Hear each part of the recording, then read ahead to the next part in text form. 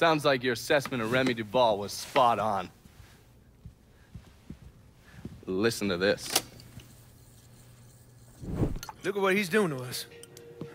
Our neighborhood, our homes. I, for one, refuse to sit by and watch as some rubber-lipped nigger runs roughshod over everything we hold dear. And what is it you hope to accomplish? I will strangle that motherfucker! That's what I'll accomplish! I apologize.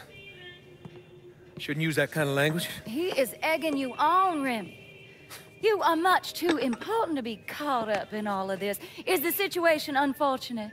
Of course it is. But nothing he is doing changes anything. Let Sal's men handle it. Sal's men. Olivia, the people of this neighborhood expect me to protect them, not some greased up wop assholes. No, no, no, I need to respond to this. I need to send a message to those niggers and the guineas that here in Frisco Fields, we take care of our own. This is a mistake, Remy. You could jeopardize everything we have been working toward.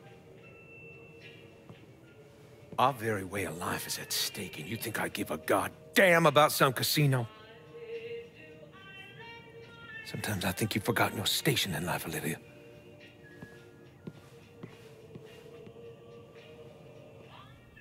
A minute or so later, Olivia called Sal. Told him Remy's Southern Union pals were out looking for you. If you head back up there, I'm sure it won't be long before you run into some of them. Get them to tell you which hole Remy's hiding in. Yeah, once I'm done with that prick. Olivia's next. Getting to someone like her ain't gonna be easy.